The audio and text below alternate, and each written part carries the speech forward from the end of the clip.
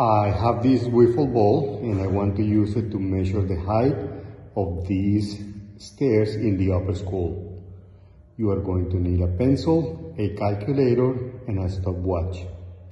You are going to stop measuring when you hear the wiffle ball hit the ground.